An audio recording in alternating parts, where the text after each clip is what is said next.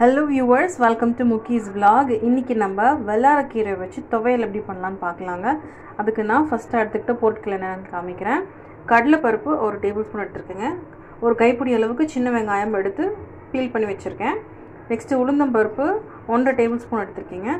நாலு slice of uh, தேங்காங்க. பூண்டு வந்து சும்மா ஒரு அரை கைப்பிடிக்கு எடுத்து இந்த மாதிரி பீல் பண்ணி வச்சுருக்கேங்க. ஒரே ஒரு தக்காளி சாப் பண்ணி வச்சுருக்கேன். அதுக்கப்புறம் மூணு காஞ்ச மிளகா ஒரு பச்சை மிளகாங்க. இப்போ ஃபஸ்ட்டு நம்ம பேனில் கொஞ்சமாக எண்ணெய் விட்டுருக்கோங்க. இந்த பருப்பு வகை எடுத்து மட்டும் ஃப்ரை பண்ணிக்கலாம். பருப்பை தனியாக ஃப்ரை பண்ணிக்கலாம். நல்லா கொஞ்சம் கலர் மாதிரி வரப்போ ட்ரான்ஸ்ஃபர் பண்ணி வச்சுக்கலாங்க. ஸோ பருப்பு நல்லா பொறிஞ்சு வந்துட்டுருக்குங்க. இது கோல்ட் ப்ரெஸ் ஆயில்னால இந்த மாதிரி ஃபோம் நீங்கள் பபுள்ஸ் மாதிரி பார்க்குறீங்க. நார்மல் ரீஃபைண்ட் ஆயிலில் அது வராது. நான் நல்லெண்ணெய் யூஸ் பண்ணியிருக்கேங்க நீங்கள் உங்களுக்கு ப்ரிஃபர்ட் ஆயில் யூஸ் பண்ணிக்கலாம். ஓகேங்களா இப்போ பார்த்தீங்கன்னா ப்ரௌனாக கலர் மாதிரி வருது. இந்த பக்குவத்தில் வந்து நம்ம இந்த பருப்பை ட்ரான்ஸ்ஃபர் பண்ணி வச்சுக்கலாங்க கிண்ணத்தில். பருப்பை வந்து நான் இந்த மாதிரி கப்புக்கு ட்ரான்ஸ்ஃபர் பண்ணி வச்சுருக்கேங்க. நெக்ஸ்ட் நம்ம அதே கடாயாக நம்ம வெங்காயம் சாட் பண்ணிப்போங்க வெங்காயம் நம்ம தேங்காய் மிச்சம் வச்சுருக்க பொருட்கள் எல்லாத்தையும் போட்டுருவோங்க. தக்காளி. இதெல்லாம் நம்ம வதக்கி ஆற வச்சு அரைக்க போகிறோங்க ஃபஸ்ட் நம்ம வெங்காயம் ஒரு டூ மினிட்ஸ் ஆஃப் பண்ணிவிட்டு தக்காளி ஆட் பண்ணிடலாங்க. இது கூடயே நம்ம பூண்டு போட்டுக்கலாம்.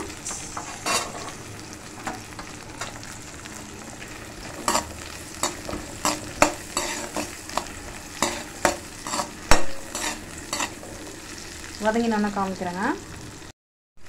வெங்காயம் மிளகெல்லாம் நல்லா சாட் ஆகிட்ருக்குங்க இப்போ நம்மளுக்கு இதில் தேவையான அளவுக்கு உப்பு போட்டுக்கலாம். நான் வந்து ஒரு ஹாஃப் அ டீஸ்பூன் போட போகிறேங்க நம்ம வேணும்னா கூட அப்புறம் ஆட் பண்ணிக்கலாம். நிறைய போட்டோம்னா அட்ஜஸ்ட் பண்ண முடியாது. ஓகேங்களா? ஸோ வெங்காயம் போட்டு ஒரு டூ மினிட்ஸ் இருக்குங்க. அதனால் இப்போ வந்து நான் தக்காளி போட்டுறேன். போட்டு எல்லாம் நல்லா வதங்கி வரதுக்கே ஸ்டார்ட் பண்ணுவோம்.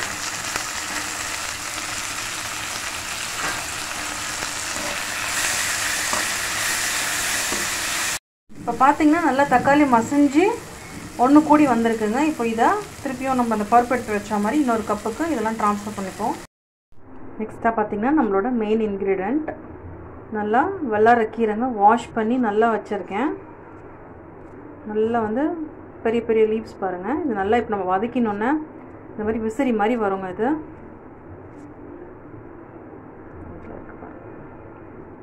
பிரிச்சோன்னா விசிறி மாதிரி வரும். ஓகேங்களா? இது பழுப்பெல்லாம் எடுத்துகிட்டு நல்லா மண்ணெல்லாம் போக நல்லா வாஷ் கொடுத்து இங்கே வச்சுருக்கேங்க. நம்ம இப்போ யூஸ் பண்ண கடாயிலே இதையும் போட்டு தாளிக்க போகிறோம் நல்லா ஒரு ரெண்டு கைப்பொடி அளவுக்கு இருக்குங்க. நல்லா அடர்த்தியாக பிடிக்கிற மாதிரி. இப்போ நம்ம போட்டோன்னே வதங்கினோன்னு பார்த்தோன்னா ரெண்டு ஸ்பூன் அளவுக்கு தாங்க வரும். போட்டு நல்லா வதக்கலாங்க அதை. நல்லா சுண்டு வரும்போது நம்ம ஆல்ரெடி இறக்கி வச்ச பருப்பு அதுக்கப்புறம் ஆனியன் தக்காளி இந்த மிளகாவோட சேர்த்து நம்ம வதக்கி அரைச்சி கொண்டு வர போகிறோங்க கொஞ்சமாக தண்ணி விட்டு ரொம்ப விடக்கூடாது. ஸோ இது சுருண்டு நல்லா வர பதத்தில் நம்ம பார்ப்போங்க.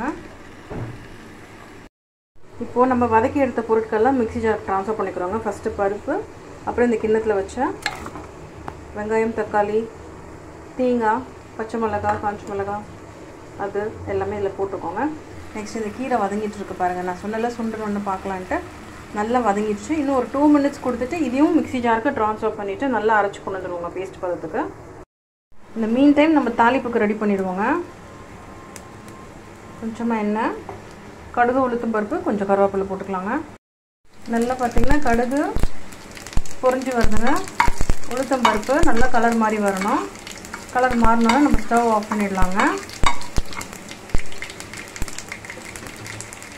பார்த்திங்கன்னா நல்ல பருப்பு கலர் மாதிரி இருக்குது இப்போ ஆஃப் பண்ணிவிட்டு கருவேப்பிலை கொஞ்சம் போட்டுக்கலாம். இந்த சூட்லேயே வந்து மிச்சம் இருக்கிற கடுகு பாப்பப் விடாததெல்லாம் விட்டுடுங்க. ஃப்ளட்டராகிடும் கருவேப்பிலையும் கருகாமல் வந்து நல்லா வாசனையாக இருக்கும். இது ஆஃபில் தான் இருக்குங்க. நம்ம துவையில் அரைச்சோன்னா இதில் நம்ம அதை ஆட் பண்ணிவிடுவோம் நம்மளோட சூப்பர் ஸ்க்ரம்டியதான வல்லாரை துவையல் ரெடி ஆகிடுச்சுங்க இது இட்லி தோசைக்கு நல்லா போகும். இன்றைக்கி நான் வந்து தோசைக்கு தான் பிளான் பண்ணியிருக்கேன். வீட்டில் ட்ரை பண்ணி பாருங்கள் எப்படி இருக்குன்னு கமெண்ட் பண்ணுங்கள் இதில் வந்து புளிப்பு உப்பு காரம் வந்து ரொம்ப மைல்டாக தாங்க இருக்குது யூஸ்வலாக துவையலெல்லாம் வந்து அந்த புளிப்பு கொஞ்சம் ஜாஸ்தியாக தான் நல்லாயிருக்கும் நான் பெங்களூர் தக்காளி யூஸ் பண்ணியிருக்கேன். நீங்கள் வந்து நாட்டு தக்காளி யூஸ் பண்ணிங்கன்னா அந்த புளிப்பு நல்லா கிடைக்கும்னு நான் நினைக்கிறேன். I'm giving the honest feedback because எனக்கு வந்து அந்த புளிப்பு தன்மை வந்து கொஞ்சம் கம்மியாக இருக்க மாதிரி இருக்குது and I not added tamarind புளி ஆட் பண்ணலை. ஏன்னா இது வந்து இந்த கீரை நேச்சுரலாகவே வந்து மெடிக்கேட்டட் வேல்யூ இருக்கிறதுனால நம்ம புளி ஆட் பண்ணும்போது அது வந்து அது சட்டில் பண்ணிடும் கம்மி பண்ணிடும். ஸோ அதனால் வெறும் தக்காளி வச்சு மட்டும்தான் பண்ணியிருக்கேன். ஸோ பெங்களூருக்கு பதிலாக நீங்கள் நாட்டு தக்காளி ஒரு ஒன்றுலேருந்து ரெண்டு கூட போடுங்க. மீடியம் சைஸாக இருக்கிற தக்காளி. இது புளிப்போட நல்லா வரும். சரிங்களா? காரத்துக்கும் வேணும்னா நீங்கள் வந்து இன்னும் கொஞ்சம் கூட மிளகா வச்சு அரைச்சிக்கலாம். காஞ்ச மிளகாவோ பச்சை மிளகாவோ. ஸோ சூப்பராக வந்திருக்குங்க. ரொம்ப பியூட்டிஃபுல்லான ஃப்ளேவரில் நல்லா வந்திருக்கு. வீட்டில் நீங்கள் ட்ரை பண்ணி பார்த்துட்டு எப்படி இருக்குன்னு கமெண்ட் பண்ணுங்கள் போடுற வீடியோஸ் பிடிச்சுன்னா லைக் ஷேர் அண்ட் சப்ஸ்கிரைப் பண்ணுங்கள் மறக்காமல் பெல் ஐக்கானே நோட்டிஃபிகேஷன்ஸ்க்காக ப்ரெஸ் பண்ணிக்கோங்க. தேங்க்ஸ் ஃபார் வாட்சிங் the வீடியோங்க take care and bye now